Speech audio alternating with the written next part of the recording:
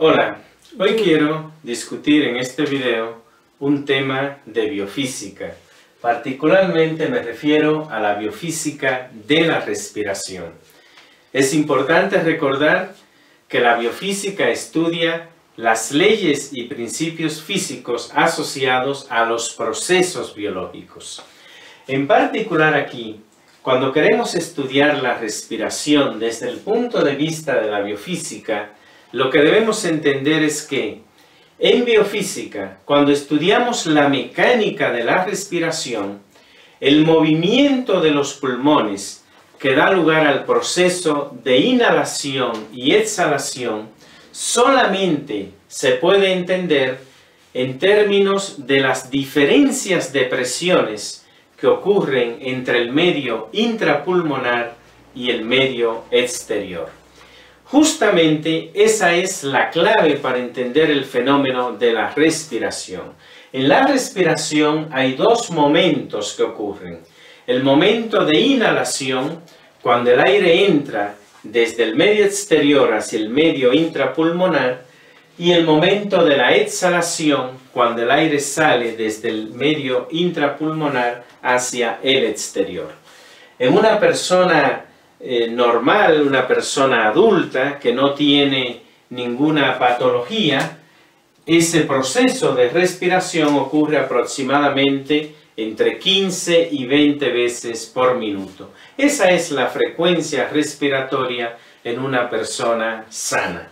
Si bien entiéndase que todo sistema biológico es, presenta una gran, los sistemas biológicos presentan una gran variabilidad. No hay dos personas exactamente iguales, pero la frecuencia respiratoria entre 15 y 20 procesos por segundo eh, por minuto es aproximadamente lo común que vamos a encontrar. Claramente, la frecuencia respiratoria cambia con la edad, cambia con el estado de salud, con la condición de ejercicio físico que se esté realizando. Ahora bien, dicho eso entonces, ¿Cómo podemos entender el mecanismo de la respiración? Lo que es clave entender aquí es que desde el punto de vista de la física, un fluido solamente puede desplazarse desde un punto A hasta un punto B cuando establecemos una diferencia de presión entre esos dos puntos. Y el fluido siempre se moverá desde la región de mayor presión hacia la región de menor presión. Esa es una ley básica de la física. Pues ese principio se aplica en la respiración. En el proceso de inhalación entonces, lo que nosotros vamos a tener es que vamos a mover una masa de aire, el aire es un fluido, y esa masa de aire se va a mover desde el medio exterior hacia los pulmones. Esa es eh, la, vía, la dirección en la cual se mueve el aire en el proceso de la inhalación. ¿Qué implica eso entonces desde el punto de vista de la biofísica? Que en el proceso de la inhalación, la presión en el medio exterior es mayor a la presión intrapulmonar. Necesariamente es así. Los fluidos solamente se mueven desde regiones de alta presión hacia regiones de baja presión, nunca en sentido opuesto. Eso entraría en violaciones con leyes físicas. Y en el proceso de la exhalación, ahí el movimiento de aire se da desde el medio intrapulmonar hasta el medio exterior. En esa dirección ocurre el movimiento de aire. ¿Qué significa eso entonces en nuestra interpretación biofísica de este mecanismo? Que la exhalación, la presión intrapulmonar es mayor a la presión exterior. Necesariamente eso debe darse. ¿Por qué ocurren esos cambios de presión? Ocurren por los procesos de dilatación y compresión de la cavidad torácica.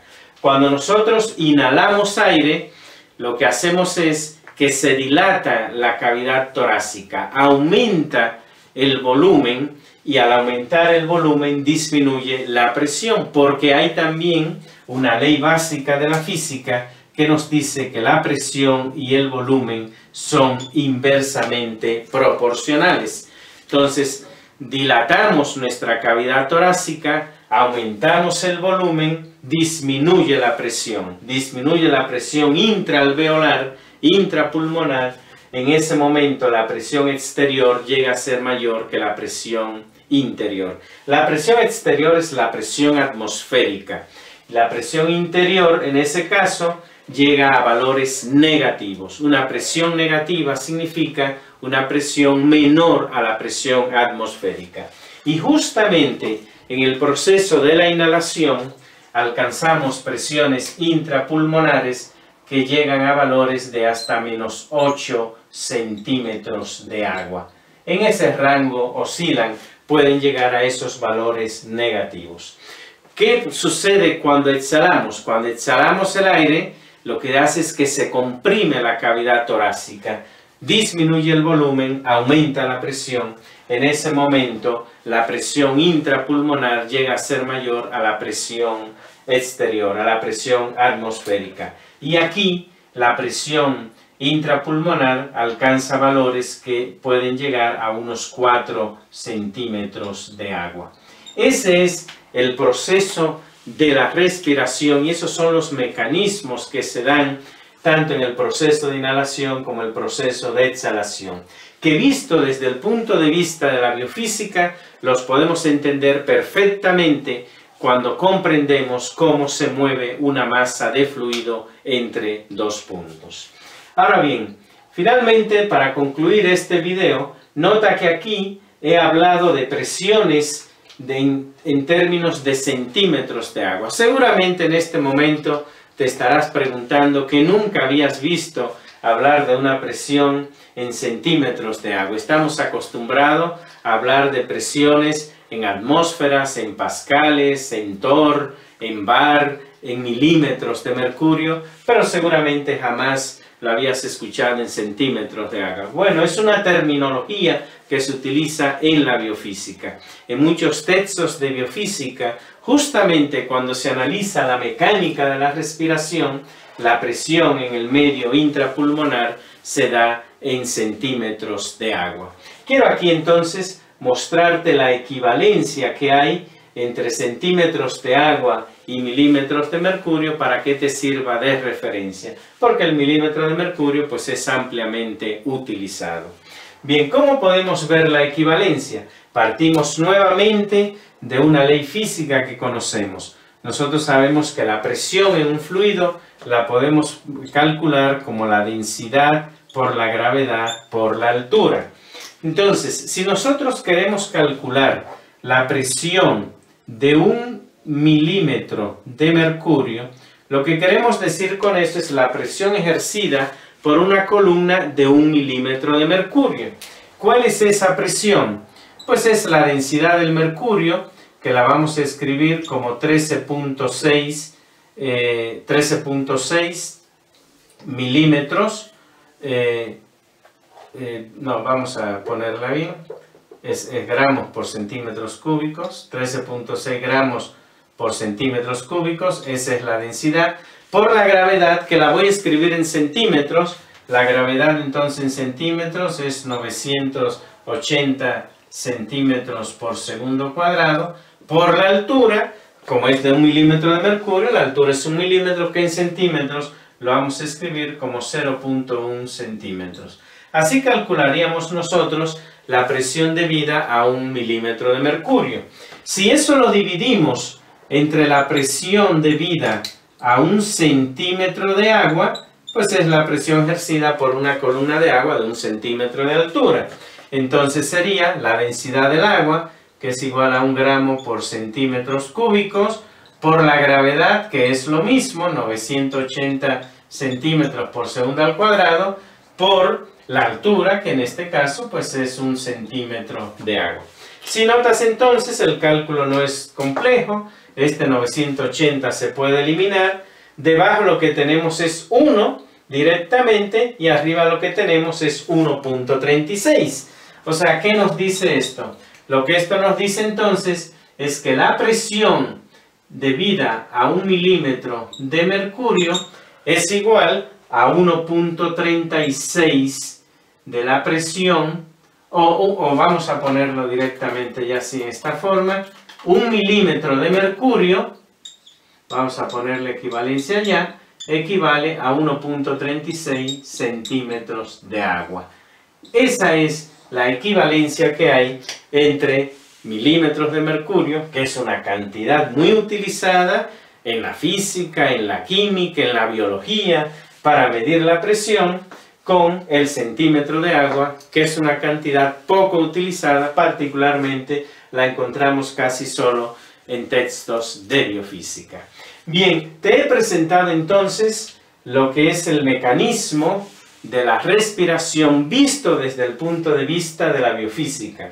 Lo entendemos, solamente lo podemos entender a través de las diferencias de presión que ocurren en el medio intrapulmonar que permiten entonces que la, que la presión en el proceso de inhalación llegue a valores negativos, permitiendo la entrada de aire del medio exterior hacia los pulmones y en el proceso de la exhalación, de la exhalación llegue a valores positivos, permitiendo entonces la salida de aire desde el medio intrapulmonar. Porque solamente podemos entender el movimiento de una masa de aire o de un fluido en general si establecemos una diferencia de presión. En el caso de la respiración, esas diferencias van desde menos 8 centímetros de agua, el negativo indica debajo de la presión atmosférica, hasta más 4 centímetros de agua. Y aquí te muestro la equivalencia entre el milímetro de mercurio y el centímetro de agua. Bien, espero pues que si el tema de biofísica, si esa materia es de tu interés, pues este video, donde explico la mecánica de la respiración, te haya sido de interés. Si te ha gustado el video, no me queda más que invitarte a que le des like, sobre todo invitarte a que me sigas en mi canal Modesto Fismat. Recuerdo un canal dedicado a la discusión de temas de física y matemáticas, temas muy diversos, tanto de física como de matemáticas.